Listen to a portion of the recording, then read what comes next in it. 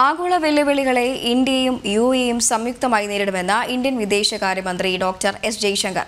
പുതിയ ലോകക്രമത്തിൽ ഇന്ത്യക്കും ഗൾഫ് രാജ്യങ്ങൾക്കും നിർണായക റോളുണ്ടെന്നും അദ്ദേഹം വ്യക്തമാക്കി. അബുദാബി ഗ്ലോബൽ മാർക്കറ്റിൽ ചേർന്ന രണ്ടാമത് ഇന്ത്യ ഗ്ലോബൽ ഫോറത്തിൽ സംസാരിക്കുകയായിരുന്നു അദ്ദേഹം. ആഗോള വെല്ലുവിളികളെ ഇന്ത്യയും യു എയും സംയുക്തമായി നേരിടുമെന്ന് ഇന്ത്യൻ വിദേശകാര്യമന്ത്രി ഡോക്ടർ എസ് ജയശങ്കർ പറഞ്ഞു. അബുദാബിയിൽ ആരംഭിച്ച India Global Forum U A രണ്ടായിരത്തി ഇരുപത്തിരണ്ട് ഉദ്ഘാടനം ചെയ്യുകയായിരുന്നു അദ്ദേഹം.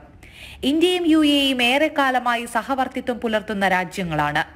ഇരു രാജ്യങ്ങളെയും ആഗോളക്രമം പുനഃക്രമീകരിക്കുന്നതിൽ ഗണ്യമായ പങ്ക് വഹിക്കുന്നുണ്ട്. സമാധാനത്തിനായി ആഗോള വെല്ലുവിളികളെ ഇന്ത്യയും യു എയും ഒന്നിച്ചു നേരിടുമെന്നും ഇന്ത്യൻ വിദേശകാര്യമന്ത്രി വ്യക്തമാക്കി. സമഗ്ര സാമ്പത്തിക പങ്കാളിത്ത കരാറിന്റെ അടിസ്ഥാനത്തിൽ വിവിധ മേഖലകളിലെ സഹകരണം ശക്തിപ്പെടുത്തുന്നത് തുടരുമെന്നും അദ്ദേഹം വ്യക്തമാക്കി. കരാർ ഒപ്പിട്ട ശേഷം ഇന്ത്യ കൈവരിച്ച നേട്ടങ്ങളിൽ നിന്ന് യു എയുമായുള്ള ബന്ധത്തിന്റെ വ്യാപ്തി മനസ്സിലാക്കാൻ സാധിക്കുമെന്നും രാജ്യങ്ങൾക്കിടയിലെ സാമ്പത്തിക സഹകരണം പുതിയ തലങ്ങളിലേക്ക് ഉയർന്നിട്ടുണ്ടെന്നും അദ്ദേഹം വിലയിരുത്തി.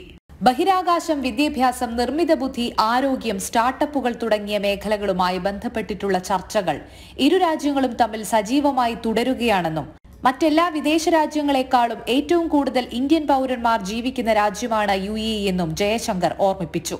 ജി ട്വന്റി ഉച്ചകോടിയുടെ അധ്യക്ഷ പദവിയിലേക്ക് ഇന്ത്യ എത്തിയതിനു ശേഷമുള്ള ആദ്യത്തെ പ്രധാനപ്പെട്ട അന്താരാഷ്ട്ര പരിപാടിയാണ് India Global Forum U A E രണ്ടായിരത്തി ഇരുപത്തിരണ്ട് ഈ മാസം ഒന്നിനാണ് ഇന്ത്യ ജി ട്വന്റി ഉച്ചകോടിയുടെ അധ്യക്ഷ സ്ഥാനം ഏറ്റെടുത്തത്.